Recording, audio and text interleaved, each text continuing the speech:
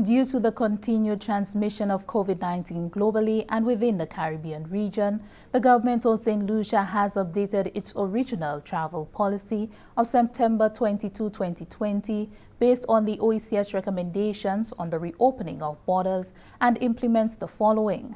All incoming passengers, including persons from the Caribbean bubble, should present with a negative COVID-19 PCR test seven days prior to travel. All non-national arriving passengers from destinations outside the bubble will be allocated at the COVID-19 approved accommodation site.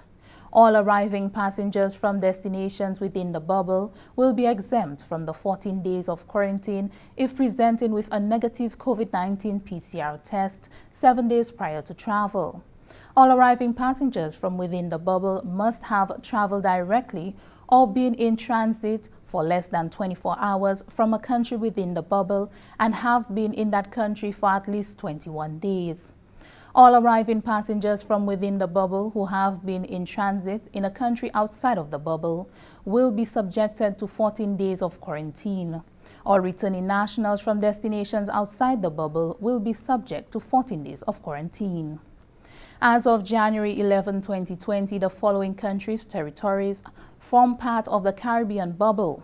Anguilla, Antigua and Barbuda, Dominica, Grenada, Montserrat, St. Kitts and Nevis, St. Vincent and the Grenadines.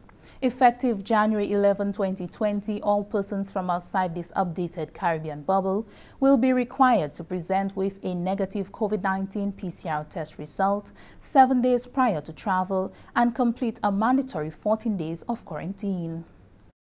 Tourism Minister Honorable Dominic Fedee has spelled out the stark reality of the pandemic's economic impact as a result of plummeted revenues and COVID-19 response expenditure.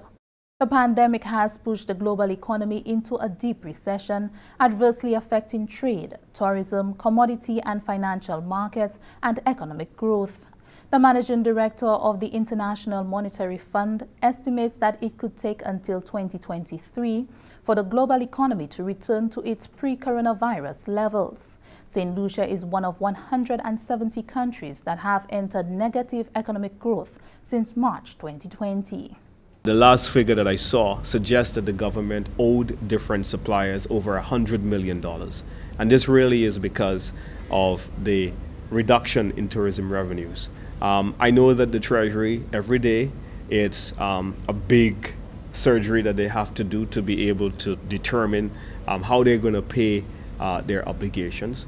Um, we would have borrowed since the pandemic began somewhere in the region of about $300 million that would have certainly um, impaired our fiscal health. Our debt to GDP has gone up significantly, and that is because we're feeling the effects of um, the reduction or the significant declines in tourism revenues.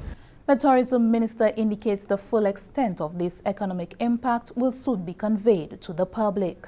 At the next budget presentation, uh, when those numbers are made very clear to the country, you will see uh, the irreparable harm that the annihilation of tourism has caused to the fiscal health of the country. Um, last year, we were at 59% of GDP, and I think that the projections are showing by the end of the financial year, we're going to be somewhere at 95% of debt to GDP ratio. So that answers the question in terms of our dependence on tourism and how critical it is uh, across the spectrum of the entire economy.